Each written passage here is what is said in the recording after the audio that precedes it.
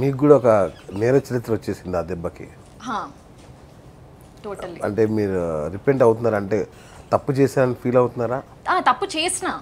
తప్పు ఎందుకు చేసిందంటే మేబీ నేను ఈ స్టెప్ తీసుకోకుండా ఉండాల్సిందేమో. కనీసం నేను ఇట్లా సపోర్ట్ చేయకపోయినా కూడా నేను ఇక్కడ మంచి చేద్దాం అనుకున్నా. అంటే నీ పెళ్ళామే ఇదంతా చేస్తుంది. అంతకు ముందు కూడా ఆ చాటింగ్స్ నీ పెళ్ళామే చేసింది. సో దట్ నువ్వు కొంచెం సేఫ్గా ఉండు. ఎవరైనా మెసేజెస్ పెట్టినా నువ్వు రెస్పాండ్ అవ్వకు. ఇంకా టెంప్ట్ అయిపోయి రెస్పాండ్ అయ్యి కలవడానికి పోతే ఆమె ఇంకా రెడ్ హ్యాండెడ్లీ పడుతుంది. అప్పుడు సంసారమే నాశనం అయిపోతుంది కదా. నేను ఆ రకంగా నేను ఓపెన్ అవ్వడము ఇక్కడ నా తప్పు అయిపోయింది.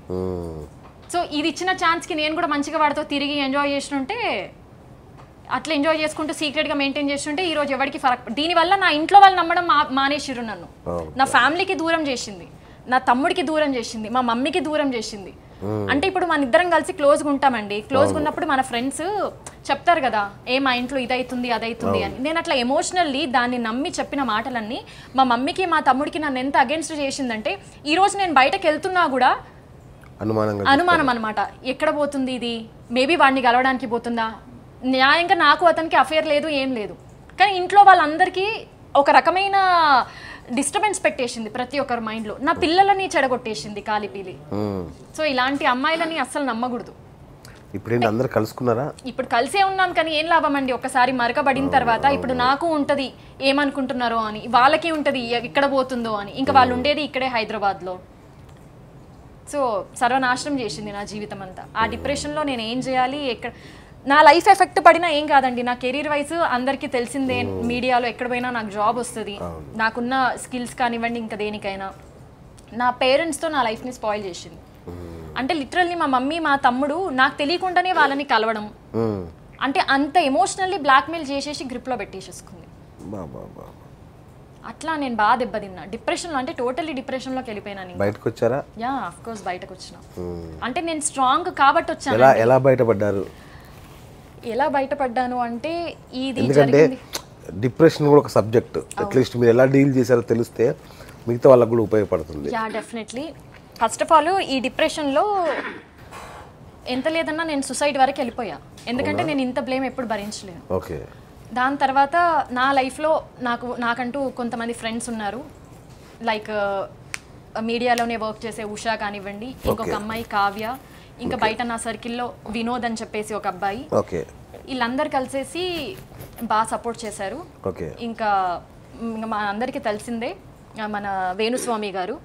అమ్మాయిలకి చాలా మోటివేట్ చేస్తూ ఉంటారు ఇలాంటి సిచ్యువేషన్స్లో సో అందరు కలిసి బయటకు తీసుకొచ్చారు. ఇలా డిప్రెషన్లో ఉండగానే నేను ఇంట్లో ఉంటే ఎక్కడ సూసైడ్ చేసుకొని చనిపోతానేమో అని చెప్పేసి వెంటనే నేను బ్యాంకాక్ వెళ్ళిపోయానండి.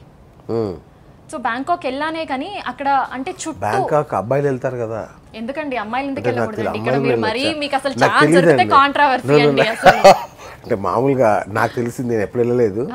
అంటే మామూలుగా అబ్బాయిలు ఎందుకు వెళ్ళకూడదండి? అట్లాంటప్పుడు అసలు. విజిటింగ్ వీసాలే పెట్టవద్దు అమ్మాయిల కోసం.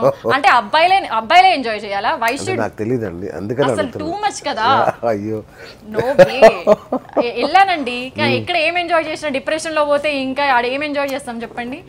ఇక కూర్చుంటే నాకు ప్రొద్దున లేస్తే ఆ పిల్లని గుడ్ మార్నింగ్ మెసేజ్ పెట్టేది. I love you good morning రాత్రి. మళ్ళీ కాదు.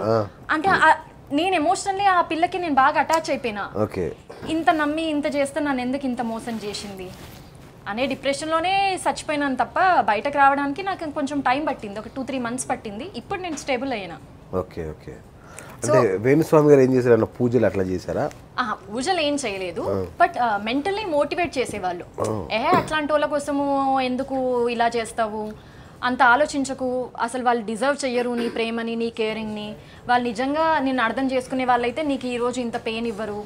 వదిలేసేయి అని చెప్పేసి ఇంకా బాగా మోటివేట్ చేసేవాళ్ళు. కొంచెం ఎప్పుడైనా డిప్రెషన్లోకి పోయినా కూడా అర్థమైపోయేది ఏం చేస్తున్నావు ఏంటి అని చెప్పి ఆ డిప్రెషన్ స్టేజ్ నుండి అయితే బయటకు తీసుకొచ్చింది గురుగారు. మరి గురువుగారి మీద చాలా వివాదాలు ఉంటాయి కదా? మీరంటే నమ్ముతారా నేను డెఫినెట్లీ నమ్ముతానండి. నమ్మే వాళ్ళకి ఓకే. నమ్ నమ్మని వాళ్ళకి ఇంకా అలా కర్మ. అంతే. నేను బాగా నమ్ముతాను. ఎందుకంటే నా లైఫ్లో అన్నీ జరిగాయి. అవునా? నా లైఫ్లో జరిగాయి కాబట్టి నేను నమ్ముతాను. ఇంకా నేను చాలా కేసెస్ కూడా చూశాను.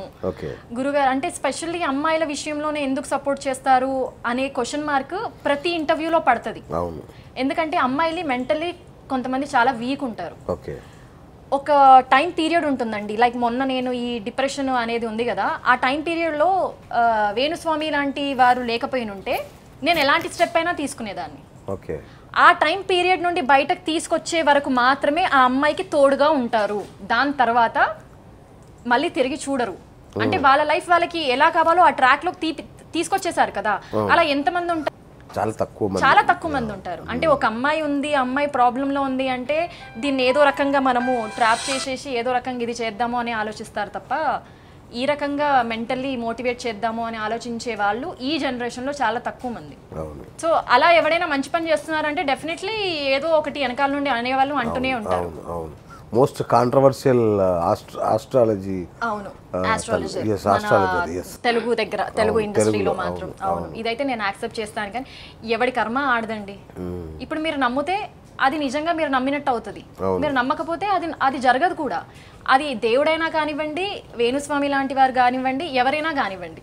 బాగుంది. అలా. ఇప్పుడు నేను మిమ్మల్ని నమ్మాను కాబట్టి నేను ఇక్కడ దాకా వచ్చాను. అవును. రైట్. ఒక విషయం చెప్పండి. మీకు పదిహేను ఏళ్ళకే పెళ్ళయిందా? పదిహేను ఏళ్ళకి కాలేదండి. అంటే చెప్పారు నాకు. పదిహేను ఏళ్ళకి కాలేదు. పదిహేను ఏళ్ళకి కాదు. సెవెంటీన్ ప్లస్కి అయ్యింది. Okay okay. సెవెంటీన్ ప్లస్కి అయ్యింది. ఎయిటీన్ ఇయర్స్లో పాప పుట్టింది. ట్వంటీ వన్ ఇయర్స్లో బాబు పుట్టాడు. మీరు టిక్ టాక్ చేస్తుంటే మీ చెల్లె తమ్ముడు అనుకుంటున్నాను నేను. చాలా మంది అదే. అనుకుంటారు. చాలా మంది అదే అనుకుంటారు. కానీ కాదు నా కూతురు నాకన్నా హైట్ ఉంటుంది. అవును. మంచి హెల్దీ ఉంటుంది. తనకంటే మీరే ఎంగలాగా అనిపిస్తారు నాకు. అవునండి. తను కొంచెం బబ్లీగా ఉంటుంది బబ్లీ మంచి కొంచెం మంచి హెల్దీ ఉంటుంది. అవును. మంచి హెల్దీ ఉంటుంది హైట్ ఉంటుంది. ఇంకా ఇక నేనంటే ఇక జిమ్కి పోయి ఆ వర్కౌట్లని అవని ఇవని వేసుకుంటూ ఇక నేను కొంచెం మీ సౌందర్య రహస్యం ఏమైనా ఉందా? ఏం లేదండి జాన్సన్స్ బేబీ సోప్ నేను ఇగో మేకప్ కూడా పెట్టా. ఏం ఏం వేసుకోండి టిక్ టాక్లో కూడా చాలా మంది క్వశ్చన్స్ అడుగుతారు.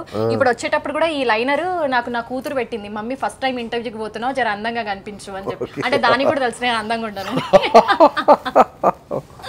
సో అదే డ్రెస్ సెలెక్ట్ చేస్తుంది. ఎక్కడ పోవాలన్నా కూడా ఫుల్ సపోర్ట్ తీసుకుంటది. మా మమ్మీ కూడా బాగానే సపోర్ట్ చేస్తుంది నాకు. మంచి సపోర్ట్ చేస్తుంది. ఇంకా మాకు ఎక్కడికైనా బయటకు తాగాలనిపిస్తుంది? ఇంకా ఎక్కడికైనా పోవాలనిపిస్తుంది అని అంటే మాది అంటే మంచి చిల్ టైప్ అంటే డ్రింక్ మందు తాగాల. ఇంకేం తాగుతామండి చాయ్ కాకుండా ఇంకేం తాగుతా ఏంది మీరు ప్రతిదీ ఇట్లనే మాట్లాడతారు. అడుగుతున్నాను నాకేం తెలుసు అండి అడగ- అడగాలి కదా. క్లారిటీ మళ్ళీ నేను ఓడిగా తాగుతా. నేను రెగ్యులర్గా పార్టీస్ పోతా. Okay okay. రెగ్యులర్గా పార్టీస్ పోతాను. మంచి మందు తాగుతాను. ఇక బయట ఎవరు దిక్కు లేరు ఇంకెవరు తీసుకుపోనీకి దిక్కు లేదు అంటే ఇక మా తమ్ముడికి కానీ మా మమ్మీకి కానీ చెప్తా. ఇక తీయే మమ్మీ బాటిల్లో అంటే మీ ఇంట్లో కూర్చుంటాం మంచిగా తాగుతాం. మా తమ్ముడు నేను మా మమ్మీ మా ఫ్యామిలీ అందరం కూర్చొని తాగుతాం. అచ్చా అచ్చా అచ్చా చిల్ ఫ్యామిలీ అనమాట మాది. ఇంకా సిగరెట్స్ కోసం కూడా చాలా మంది అంటారు కదా నిన్ను చూసి మీ పాప ఇట్లా తయారవుతుంది అని అంటే ఒక క్వశ్చన్ అండి అందరికి. మా మమ్మీ డీసెంట్ అండ్ మా మమ్మీకి అసలు నోరు తెరిస్తే ఒక అక్షరం ముక్క రాదు. ఇప్పుడు నాకు ఈరోజు ఈ సీక్రెట్ ఈ సీక్రెట్ అలవాటు నాకు మంద అలవాటు వచ్చిందంటే మా మమ్మీకి కూడా ఉండి ఉండాలి కదా. మళ్ళీ మా మమ్మీకి లేనిది నాకెందుకు వచ్చింది? మనం చేసే అలవాట్లు ఏవైనా సరే మన పిల్లలకు వస్తాయి అని అనుకోవడం మూర్ఖత్వం. ఓకే అవి రావు. మనం అలవాటు చేసుకుంటే వస్తాయి ఏవైనా. మమ్మీ చేస్తుంది కదా అని వీళ్ళు కూడా చేయాలి అంటే అది కాదు. ఓకే. ఈ రోజు నేను ఇంత ఫ్రీ లైఫ్ని ఎంజాయ్ చేస్తుంటా. నా పిల్లలకి ఇప్పటివరకు ఏది ఎఫెక్ట్ అవ్వలేదు. వాళ్ళు ఎప్పుడు ఆబ్జెక్ట్ కూడా చేయలేదా చేయలేరు. నేను కొంచెం డిప్రెషన్లో ఉండి అరుస్తున్నాను అనుకో. అమ్మ నువ్వు పైకి పోయి ఒక సిగరెట్ తాగి రాపో అమ్మ. నా కూతురు ఇట్లా అంటది అనమాట. సో ఈ టైప్ మేము. బానే ఉందండి లైఫ్. పెద్దగా ఏమీ కాంప్లికేషన్స్ ఏం లేవు. మొన్న జస్ట్ ఇది ఒక్కటి వచ్చి ఓకే. డిస్టర్బ్డ్ నమ్మకమైన మీ ఆర్థిక నేస్తం భవితశ్రీ చిట్ ఫండ్స్. భవితశ్రీ చిట్స్తో శ్రీకారం బంగారు భవిష్యత్తుకు సాకారం.